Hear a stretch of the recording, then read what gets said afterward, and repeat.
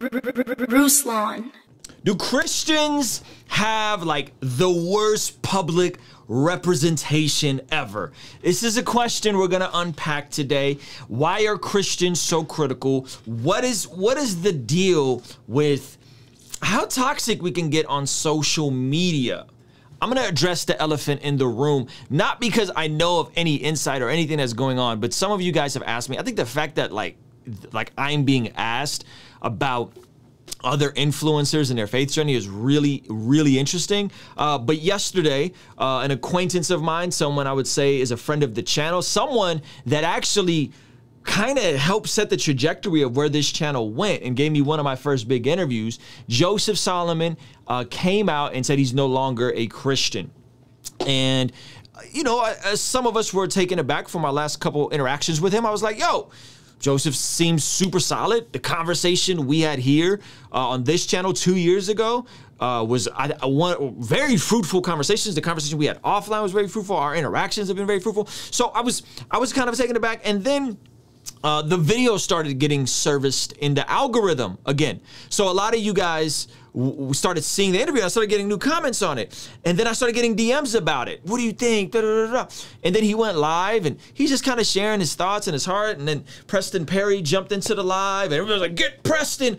And it was so it was so and i got a verse by the way so just stay tuned in terms of what my thoughts are uh, uh, uh, uh since since since you guys care. And i got a verse because it's what i think really doesn't matter but i'm gonna give you guys a verse to to this specific types of situations and i i saw the live and you know Joseph, shout out to Joseph, said, Yo, I'm going to address this in a long form podcast, and I'm going to address all of the questions and, ex- and, share exactly what I believe. And he was clear that it wasn't just a word game. He wasn't just playing semantics of, he, you know, it's just about a relationship with Jesus. It, he is just, just saying, yo, I don't identify with Christianity anymore.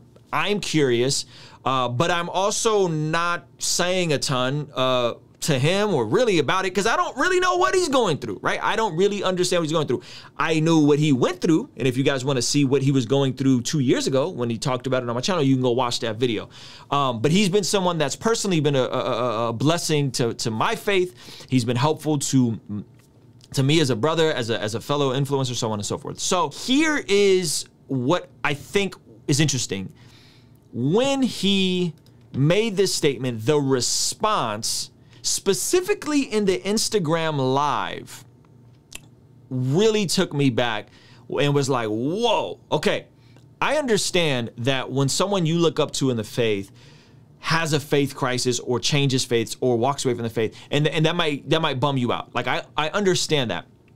But the responses that I was seeing in the Instagram live, everything from telling him he was gonna burn in hell to trying to like zap him back into the faith through a comment on Instagram to get Preston Perry here, get so and so here, get Ezekiel here, to uh, all the way to the extreme of like, are you gay? Which I thought was like, and, and even he was like, fam, like, what are y'all talking about? Like, are you like what? You know, that's that's that's wild, right? So I don't understand what is it about Christian social media that seems like, and for, from my perspective, uh, that it could just be so toxic, that it could be so negative, that it could be so critical in the way we speak of these are people these are people, fam. And and someone like like like Joseph is still connected to a gang of Christians.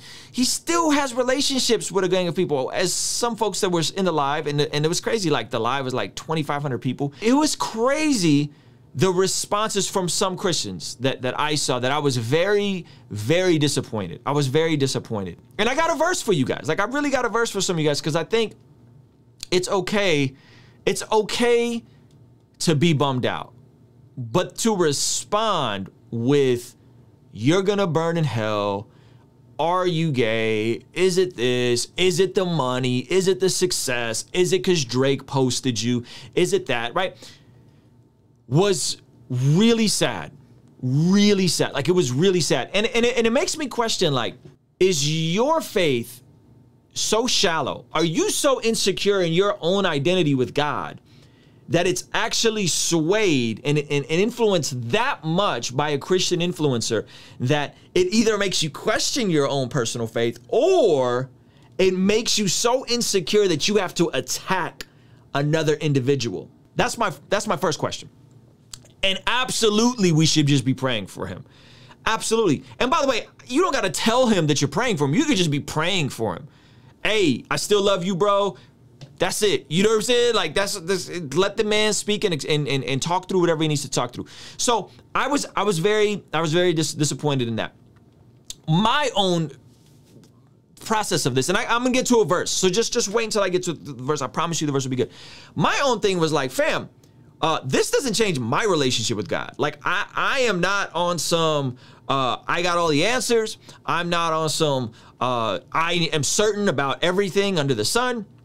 Faith is just that. Faith is not certainty. Faith is I'm putting faith and I'm putting trust into what I believe is the most probable and likely scenario of how this thing works.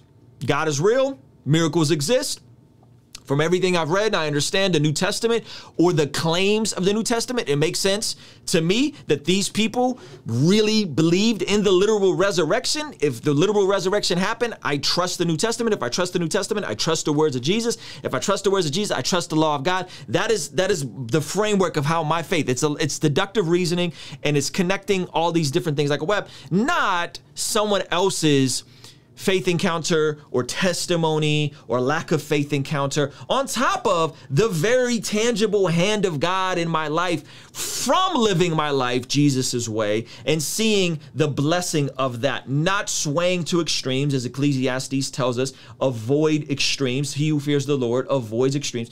So, my faith doesn't hinge on an influencer, and neither should yours, by the way. My faith in Jesus is it's rock solid, fam. You know what I'm saying? Like it's rock solid. And by the way, by the way, uh, I'm experiencing a weekend of quite a lot of tragedy. Okay, a weekend of people in in my real life. So, someone that was in our wedding tragically passing away uh, uh, in their mid 30s uh, from cancer. And I'm not going to get into all the particulars of it because it's, it's, it's, it's not for social, but like I'm going through like real stuff in my real life. Multiple people around me really sick with COVID, like real issues. None of the, and, and the tragedy doesn't make sense in the moment. Hard times don't make sense in the moment. I don't have all the answers. So, the grand scheme of things, like my faith is, is is is my faith, and it's that it is faith. It is a, it is not blind faith, and it's not a, and it is not an absolute certainty of ha- needing all the answers or having an answer for everything. But it's but it's my faith. So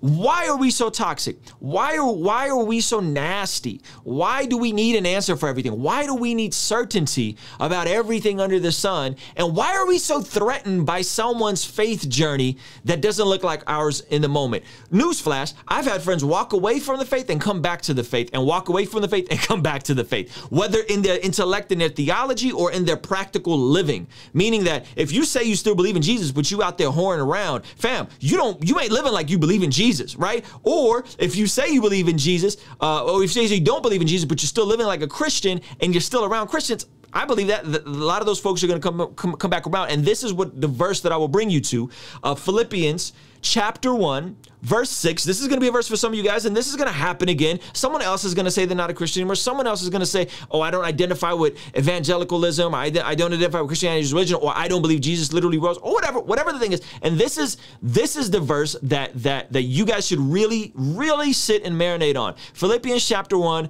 verse 6. This is Paul writing the church in Philippi, and he says, being confident of this, that he, God, who's he? God who began a good work in you will carry it onto completion until the day of Christ Jesus. Paul, Paul was confident that the God who started the work in the believers were that he was going to work that out, that he was going to see it to completion. Okay? So I'm not threatened of anybody going through anything. Because if that person and and I believe Joseph is is is is saved. If that person is really in Christ Jesus, I believe God's going to finish the work that he started. I don't need to feel a way about that. My faith doesn't have to be threatened about that. I don't have to be negative and toxic about that. I don't have to be combative about that. I don't need to be like, fam, who is your who does your faith hinge on? Does it hinge on a Christian influencer? Does it does it hinge on a Christian rapper? Does it hinge on someone that's charismatic and charming? Or does it hinge on the, the person of Jesus Christ, the logos of God? the manifestation of God on this side of eternity, the, the bodily form of, of God sending a man to rise. Who does your faith hinge on? And if and if someone walks away or seemingly walks away or say they're not a Christian, which again, that could mean so many different things. If they say that, God's gonna complete the work that he started if God started that work. What are you afraid of? Why are you scared? Why are you upset? Yo, bro, I love you, man. That's it. That's all there is to say in that situation. That's all there is to say. Love you, bro. I love you. Boom. Right? And then, and then you know what you do? You know what you do? You don't try to argue apologetics with them. You don't, you don't try to become their accountability partner over DMs. You know what you do? You get on your knees and you pray for them. You don't pontificate about what the, no, you like Get on your knees and pray. If they meant that much for you, to you, as an influencer, as an artist, as a creative, get on your knees and pray for the man. That's what I did before I ever left a comment. Before I ever, I'm gonna send him a text message, check up on him. I, I, I stopped in the middle of my day and I just prayed for the brother. Like God, I don't know what you're doing. I don't know what's going on. Yeah, but yeah, it bums me out. But you know what, God, you're gonna finish the work that you started. I don't gotta do the work. I, I, I have nothing to. Joseph is probably way smarter than me. Way smarter. Probably read way more books than me. Eh, what, what, what am I gonna say? Oh, you know this C.S. Lewis quote? Uh, Jesus is the the myth that's really real. You heard this Jordan Peterson quote? You heard this Josh McDowell said, right? Like Wayne Grudem. Like, what am I gonna say? Hey, bro. I love you, man. That's it. I love you. And when I see him, it's still gonna be love. And we'll have some good conversations. I'm sure, come on, man. Like Preston is one of his best friends. Like, ain't nothing that I'm gonna say that Preston Perry hasn't already said. It's uh, whatever conversation. So we gotta like listen, fam, guys. Like the the scriptures are already in opposition to our flesh. Like God's, like we're in our flesh, we're already hostile to the things of God. We ain't gotta put more sauce on it to make it worse. You ain't gotta, you don't like, don't make it harder for people with the way you react. Don't do that. Don't do, you're not helping. You're hurting. And the and and what makes it worse, fam, there's a lot of new fans there. There's a lot of folks with, with Joseph Solomon that just discovered him because Drake posted him that aren't Christians, don't understand what we're talking about, have no context of all the videos he made, have no context of Poets In Autumn, and they're there and they're like, okay, he's not a Christian anymore. And then they click the comments and it's, you're going to hell. Oh my gosh, Jesus is the way, blah, blah, right? And it's like, oh, so this is what Christians are like. Oh, so that's what, oh, right? You're not, I think I know you think you are, but you're not helping. You're not helping. Your faith shouldn't hinge on an influencer. One, two, God's gonna finish what he started. And three, pray for the man. And that's it. Case closed. I don't know, I don't know anything. I don't know anything. I was humbled that he says he still watches my content. I was humbled that he, he says he still rocks with me and I'm one of the few Christian people that he rocks with. That meant the world to me because I'm not like, y'all think I'm trying to like persuade Christians to be worldly. Like, I, I'm persuade, I want to persuade the creatives, the mystics, the artists, the entrepreneurs to walk with Jesus. I really can care less about trying to win Christians over. I know, I know, I know, I know. It's like, oh, no, no, no. I want like the, the the people that are making culture, building businesses, and helping people. Like I, I I'm hoping to speak to those people so that they're bold about walking with Jesus, or at the very least, give them a representation of what I believe Jesus would walk and talk like on this side of eternity. I'm not trying to persuade angry Christians. What am, for what? Y'all already mad toxic. I had yo, the comments, I don't talk about this a lot, but the type of comments I get are hilarious. I had somebody tell me, yes, multiple people tell me yesterday that after they saw my my video about the the bang bang, you know, the word that we're not gonna say because the video's gonna get demonetized. I had somebody tell me that they were disappointed that I got the the bang bang shot, that they were disappointed and that I had sold out to big pharma. Like, I, I was only supposed to uh, depend on God to heal me, right? Like, fam, fam, like this is so so like man it gets really wild and it's a bummer. It's a bummer because the world is watching. The world is watching. And and those of us that have the chops to really go and build businesses those of us that really got the chops to go and build businesses and really go out and compete in the marketplace a lot of times we, we look at we be looking at the Christians and we be like, fam, I don't know if I want to tell them. like I'm telling you, though, the, like those are the conversations. Those are the conversations that cats have behind the scenes. It's like, gosh, because they know they're gonna have some opportunity. They're gonna be in the mix with somebody, and the Christians are gonna come out, and it's just gonna get weird. The comment sections, the vibe, like, and so, man, I'm I'm I don't, I want to be known by Jesus first. I want to be known in terms of whatever I'm doing. I, I, always want, like, when people think of me, I want them to think Christian. I'm not ashamed of that. I'm not ashamed. And I'm not, I'm not saying other people are. Like, uh, please understand, like, I'm not saying that anybody's ashamed of that. I'm saying that's where I'm at. Like, I don't mind that. Okay.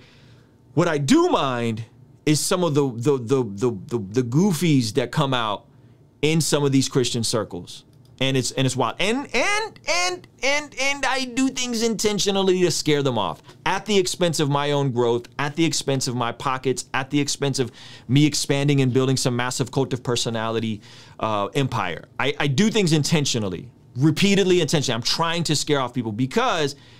There's, there's non-Christians that watch this channel. There's people that are deconstructing, deconverting and watch this channel. And the way you guys interact with each other is, is going to set a precedent in people, and you do have influence whether you know it or not.